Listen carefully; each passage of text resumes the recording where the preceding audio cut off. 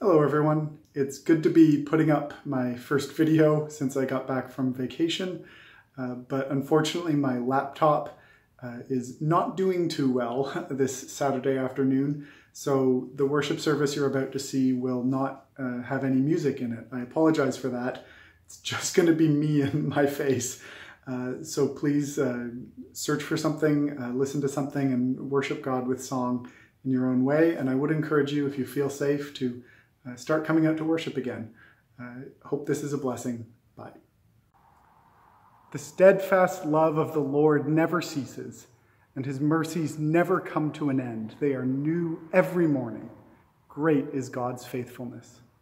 This is a service for Sunday, July the 25th, uh, but just a couple announcements before we begin. Um, just one announcement for this Sunday in person. Uh, we are maintaining all of the safety protocols required of us as a church, but we've decided that it's time to begin singing again uh, in stage three. Uh, so we'll be singing congregationally with our masks on and at a conversational level, uh, but I'm very excited that we can do that together again in person.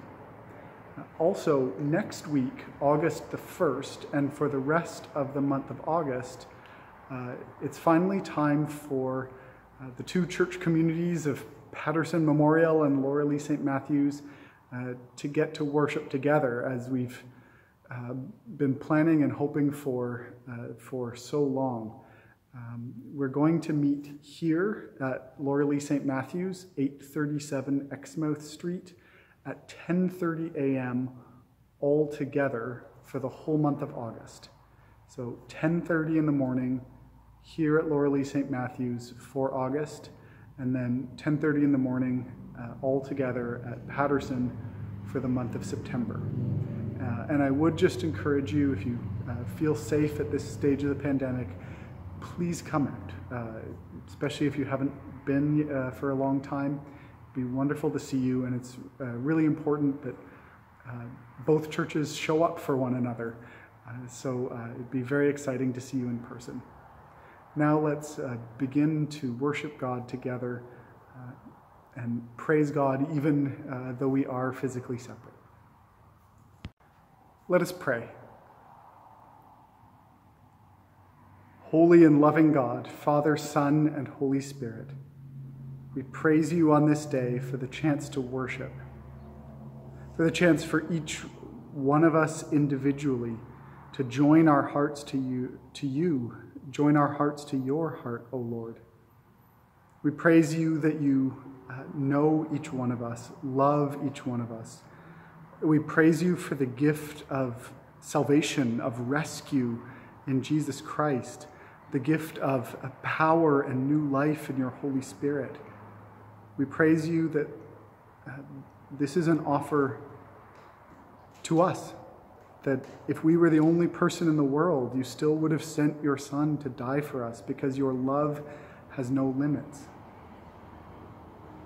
And God of the church, God of us all, we praise you that you did not send Jesus into the world to save just one of us. You sent him to save all of us together. We praise you that we are made brothers and sisters with each other, with people that are like us and people that are are so different than us. You have made them family. You have made us all family through adoption in Jesus Christ. Lord God, we praise you that you've made us to be together. And so, help us to worship now as a church. Even uh, sitting in our own living rooms, even physically separate, may we be one body with one another in one or two congregations and with your whole church throughout the world. Make us one in our praise of you, O Lord our God. And Lord, we thank you that your presence and your power uh, convicts us of sin and teaches us what we need to change in our lives. Loving God, we know we've done wrong and need your help. Show us um, the truth about ourselves and the truth about ourselves in you. we confess that so often we turn our own pleasures, our own ambitions, our own um, politics, our own culture into gods before you. And that's hurt us, Lord. It's hurt the people around us. It's hurt our planet. And Lord God, it grieves your heart as our only God and our Maker. We are sorry. Sorry for the damage we've done. And we confess to you that we, we cannot change on our own. So we ask you to forgive us and make us whole and make us holy through Christ our Lord. Send your spirit of new life upon each one of us and send your spirit of new life upon us as a community. That we can be followers of Jesus together. That we can love with his love in this world. That we can share that love all around us. This we pray in Jesus' name. Amen. Hear the good news of the gospel.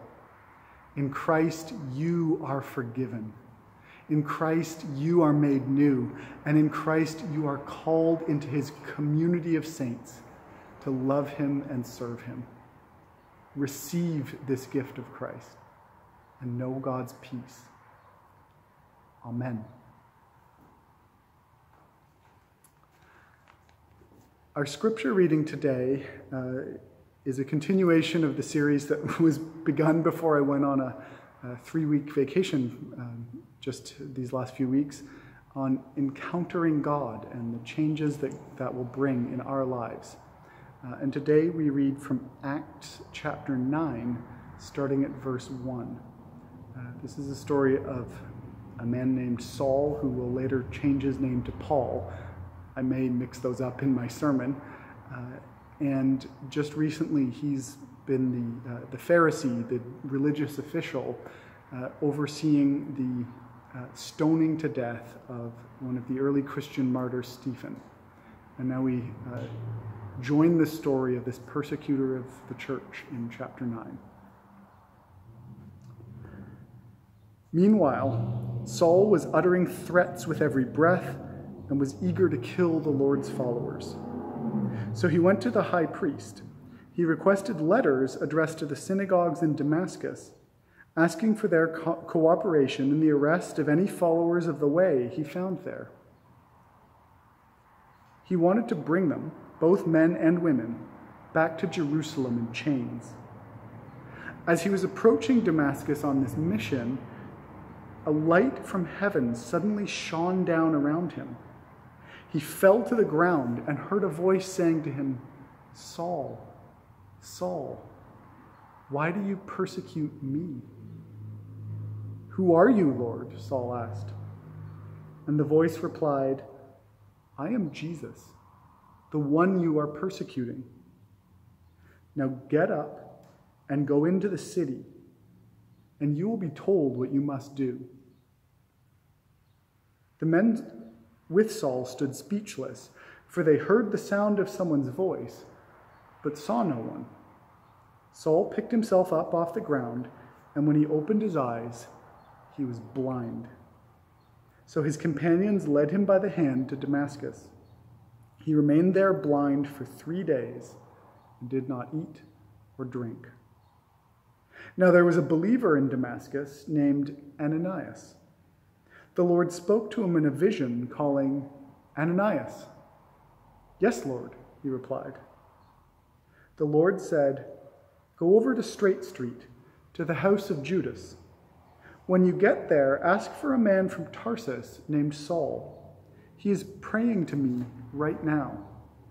I have shown him a vision of a man named Ananias coming in and laying hands on him so he can see again. But Lord, exclaimed Ananias, I've heard many people talk about the terrible things this man has done to the believers in Jerusalem, and he's authorized by the leading priests to arrest everyone who calls upon your name. But the Lord said, Go. For Saul is my chosen instrument to take my message to the Gentiles and to kings, as well as to the people of Israel. And I will show him how much he must suffer for my name's sake. So Ananias went and found Saul. He laid his hands on him and said, Brother Saul, the Lord Jesus, who appeared to you on the road, has sent me so that you might regain your sight and be filled with the Holy Spirit. Instantly, something like scales fell from, Paul's, from Saul's eyes, and he regained his sight. Then he got up and was baptized. Afterward, he ate food, some food, and regained his strength. Saul stayed with the believers in Damascus for a few days, and immediately he began preaching about Jesus in the synagogues, saying, He is indeed the Son of God. This is the word of the Lord. Thanks be to God. Let us pray.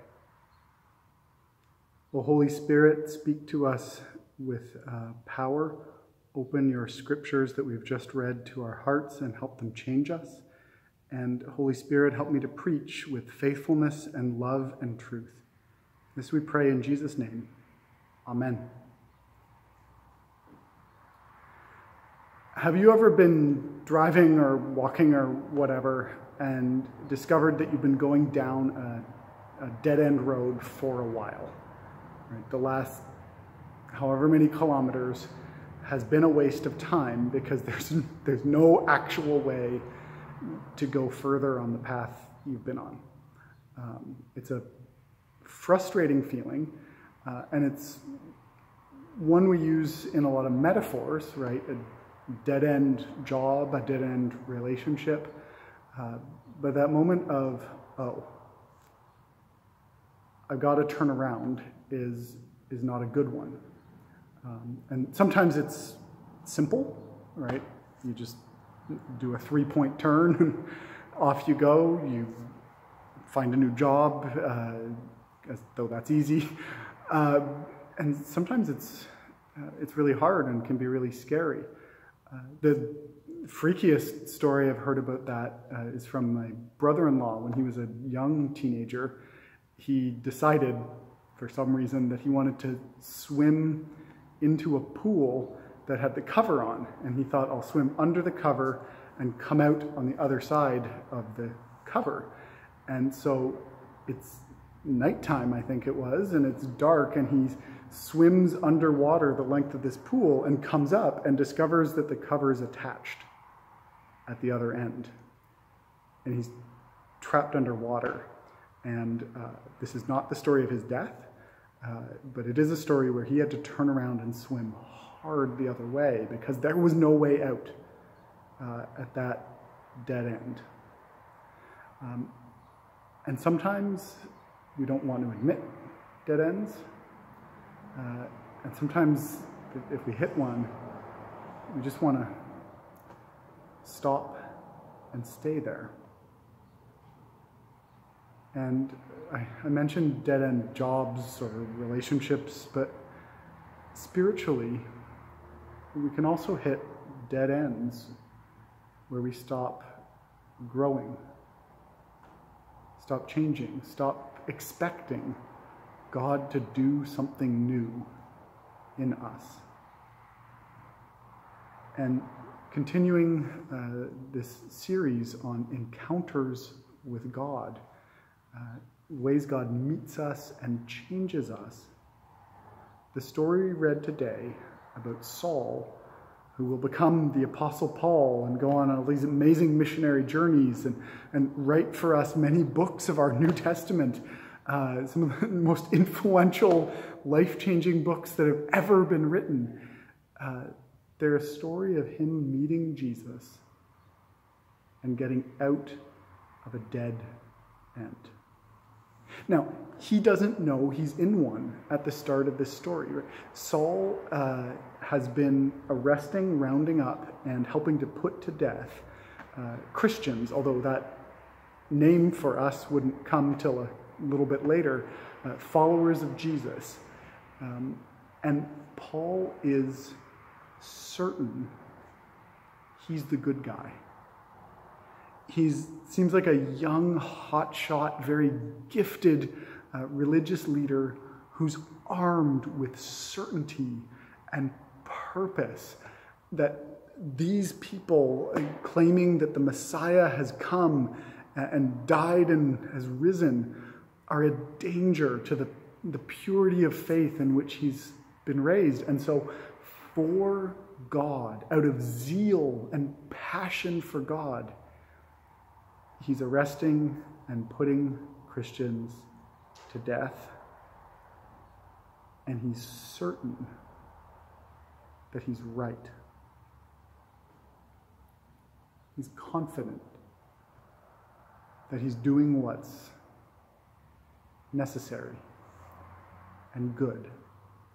And so he gets papers from the high priest in Jerusalem, letting him round up Christians in what's now Syria in a new city in Damascus, and goes on a trip that he thinks he knows the end of.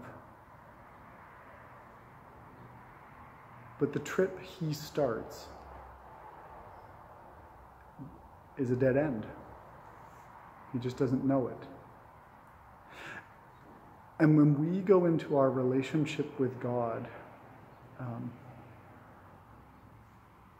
certain that we know the limits of God's grace, certain that we know the miracles that God will and won't do, certain that we've found our plateau of I'm faithful enough, good enough, we're in a dead end too. But thanks be to God, Saul walks smack in to Jesus. Saul meets Jesus on the road to Damascus. Now, Jesus has already died and already risen and already ascended into heaven. He's not walking around uh, at this stage in the Bible here on earth. And actually, seems like Jesus doesn't leave heaven to appear to Paul. It seems like you know a hole is torn in our world, and the light of heaven shines for. Sorry, I called him Paul. Saul. He's not Paul yet. The light of heaven shines for Saul to see. and it stops Paul dead on his dead end road to Damascus. And Jesus changes everything when he says, Saul, Saul. Notice he knows his name, right? God knows your name too. God knows the path that you're walking on and the path that He has for you. Saul, Saul, why are you persecuting me? And Saul, dumbstruck by the light of heaven, can only ask, Who are you, Lord? He says, I'm Jesus. And he repeats again, Whom you are persecuting. I'm the one you're hurting. Now get up and I'll tell you what to do in a bit.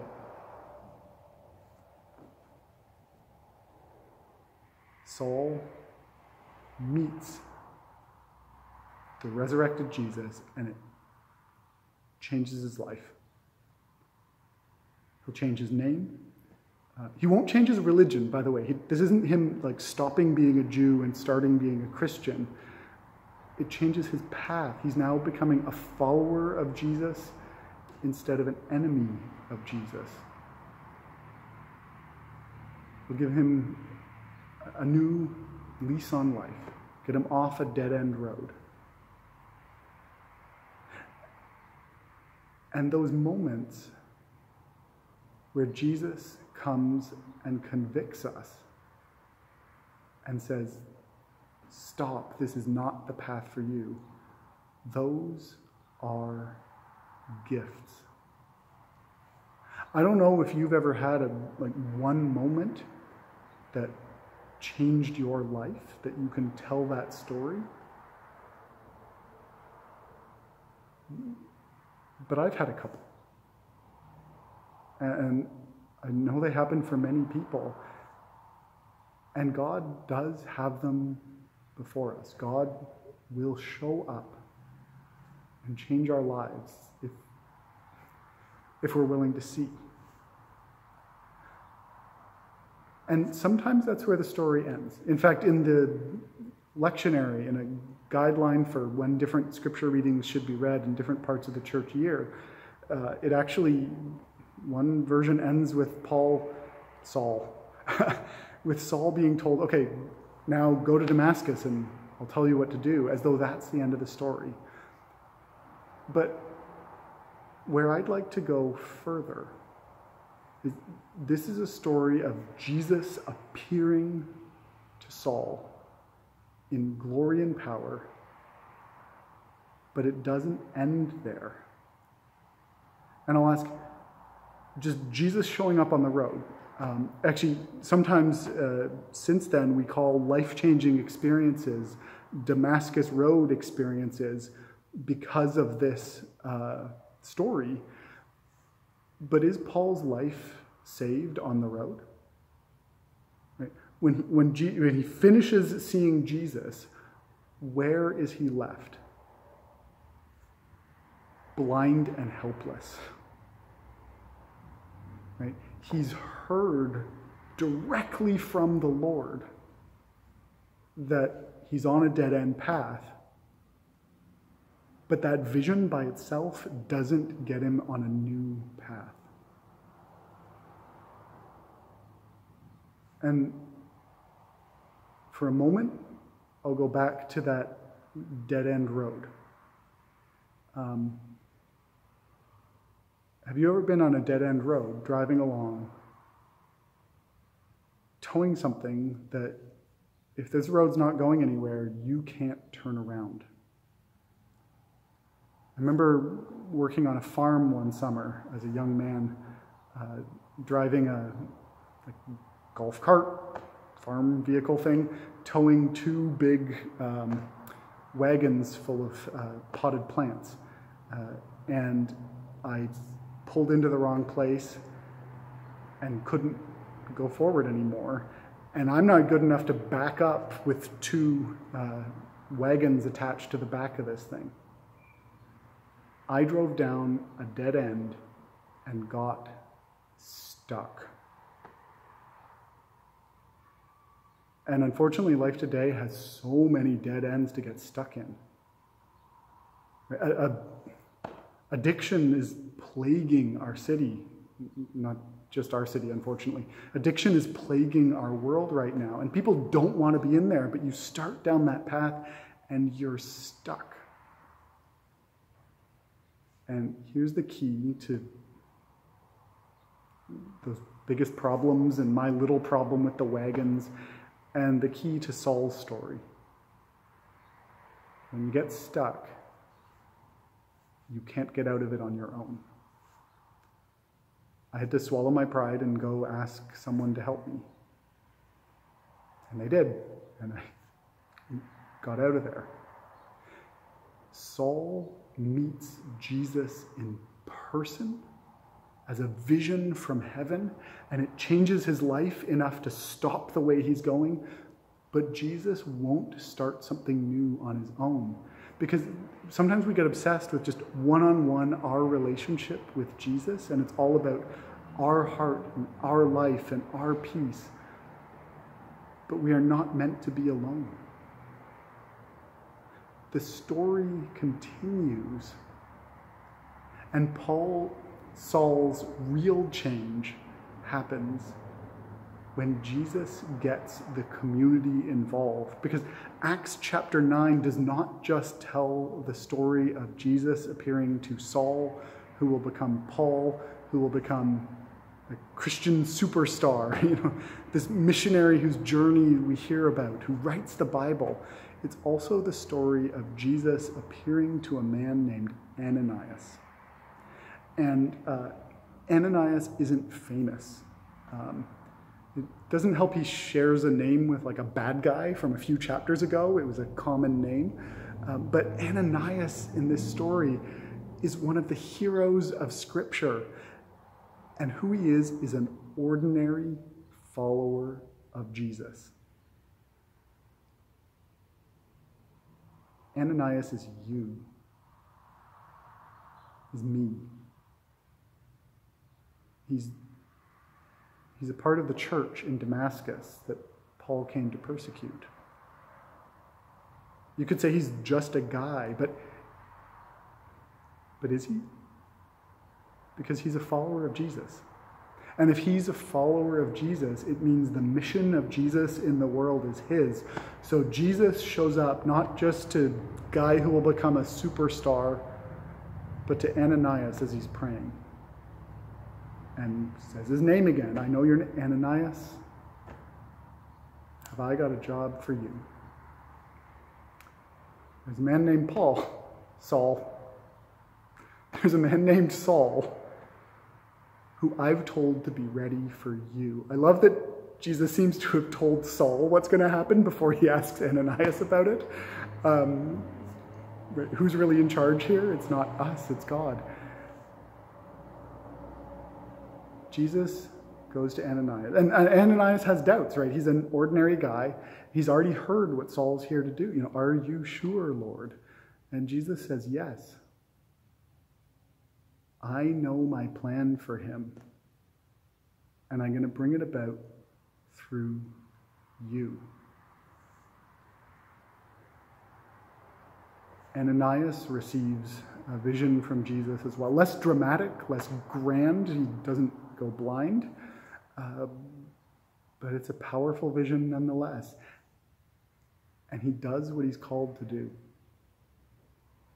Ananias lets Jesus change his mind about someone else. And then comes the third encounter with the risen Lord Jesus in this story. Ananias goes into the house of Saul's friend Judas goes down and meets this man who has the power to arrest him. And the first word out of his mouth is brother. Brother Saul. And I think in that moment, Saul meets Jesus again. And we've already seen hints that this is going to happen. Remember on the road? Uh, Jesus says to Saul, Saul, Saul, why are you persecuting me? It, at this point, Jesus has died, he's risen, he's safe in heaven. Has Paul been rounding Jesus up? Has Paul been having people throw stones at Jesus? Has Paul been given letters to arrest Jesus? No. He's doing that to Jesus' followers. But Jesus says, You're doing that to me. In other words, Jesus is saying, He's in those who believe in him. He suffers when, when we suffer. He's here with us. And so, less dramatically, Saul meets Jesus again as a member of the community of Christ, is willing to call him brother. Brother Saul. Ananias knows his name too.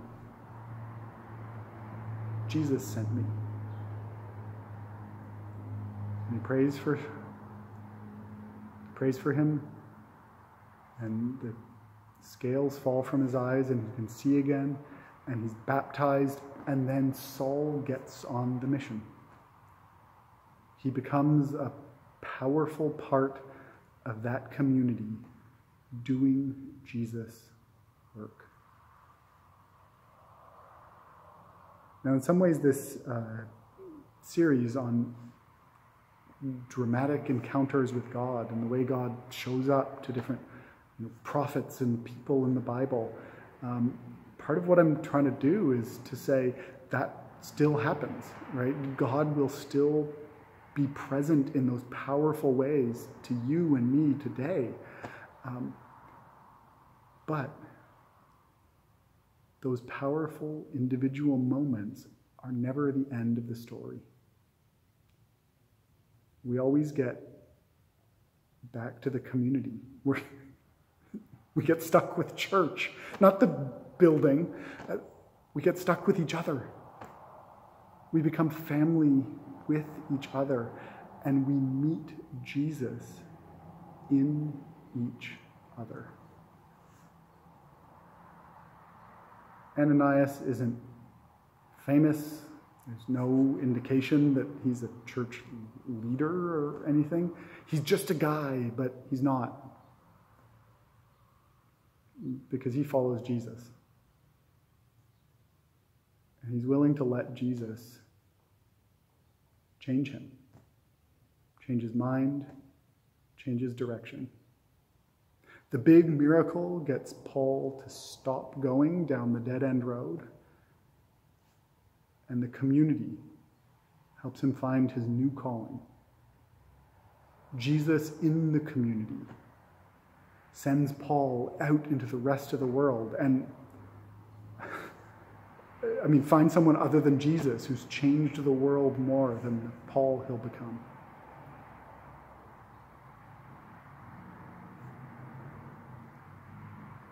I believe that we're called to do the same thing as Christ's community now. If you are a follower of Jesus, if you've been baptized, um, you're like Ananias. And Jesus is planning to use you to change someone's life.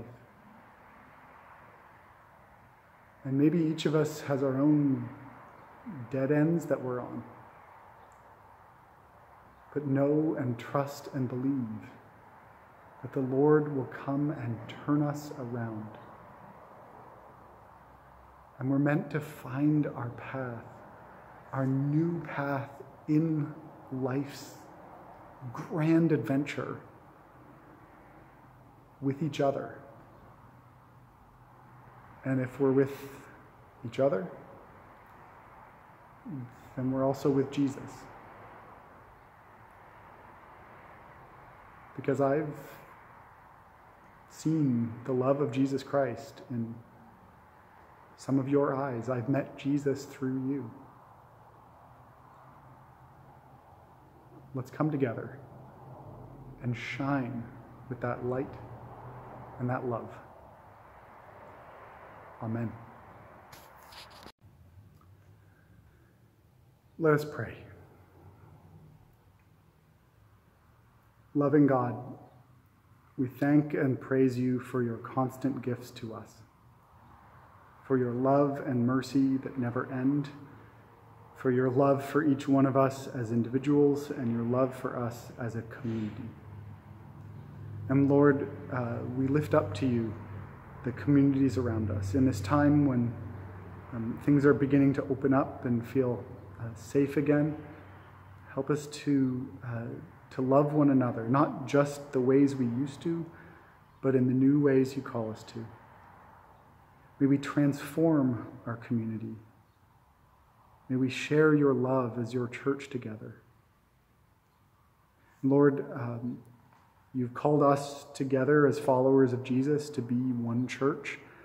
Uh, and you've called us as a church to live in a community and be a blessing to it. And so we pray um, for the city of Sarnia and for uh, other places where we may live. We pray for our own neighborhoods. We, um, we pray for people who think they're alone right now and need your help. We pray that you will send someone, or um, we each pray that you will send us to someone who needs us. Help us to be a voice that changes their life. Lord God, we pray for those uh, trapped in different addictions and uh, those who are uh, struggling to help them. We pray for those who've been trapped by um, society's story and the legacy of violence that goes back generations. And in particular, we pray for those who were at or whose parents were at um, residential schools and suffered that violence. We pray for a new beginning, an end to the dead end road of superiority, and a new life together in this country. We pray for a new beginning um, in our relationship to the earth and for its healing.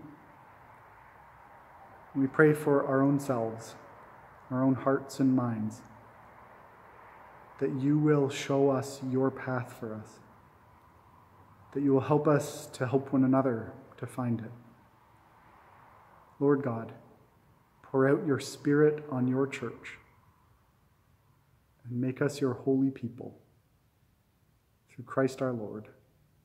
Amen. And now may the grace of our Lord Jesus Christ, the love of God, and the communion, the oneness of the Holy Spirit be with you all, now and forever. Amen.